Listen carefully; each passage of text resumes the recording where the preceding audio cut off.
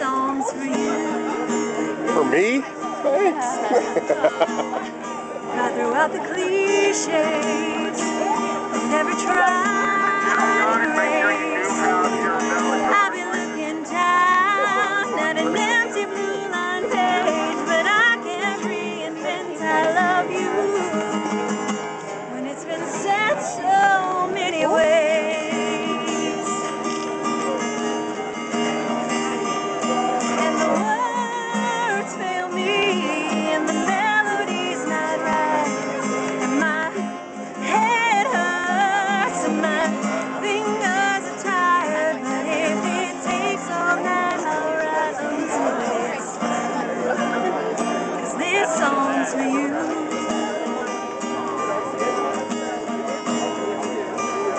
Blame it all on Lennon, Dylan, and McCartney